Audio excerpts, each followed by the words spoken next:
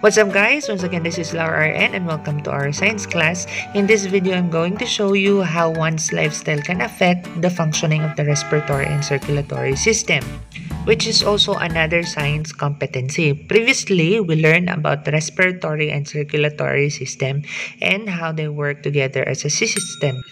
To learn more about our lesson for today, you are expected to identify the given picture whether it is a respiratory or a circulatory disease. Are you ready? Number one, asthma, respiratory or circulatory disease? Correct, it's a respiratory disease. Number two, increased blood pressure or hypertension. Correct, it's a circulatory disease. Number three, stroke or cardiovascular accident. Correct, it's a circulatory disease. And lastly, tuberculosis. Alright, the correct answer is a respiratory disease. Now, what are the causes of this respiratory and circulatory diseases? Very good. It's our unhealthy lifestyle. Because of unhealthy lifestyle, it weakens our body system and increases our risk of acquiring diseases. Number one is cigarette smoking, which is very common among our adults nowadays. Try to look at the picture what the cigarette smoking can cause to your body. Like the smoker's body. It damages all the organs in your body. So while it's too early, quit smoking. Number two is bad eating habits. Commonly, we eat junk foods and other foods that are not necessary in our body. And number three, poor or lack of exercise that can lead to obesity or underweight. And how are we going to take good care of our respiratory and circulatory system? And always have, very good, you should always have a healthy lifestyle. Why do we need to have always a healthy lifestyle? Because it lessens our chances of acquiring diseases. That's number one. Number two, less stress. And lastly, a happy life. How to take care of our respiratory and circulatory system? It's necessary because we have to protect our respiratory and circulatory system. Let's talk number one. Balanced diet. You have to eat variety of foods, eat nutritious foods, avoid junk foods and processed foods and carbonated drinks and alcoholic beverages. Instead, eat a balanced diet, eat plenty of fruits and vegetables.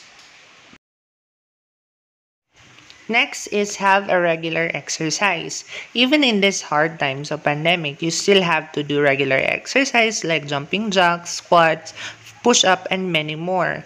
Because of this regular exercise, it can lessen your vulnerability or chances of acquiring diseases.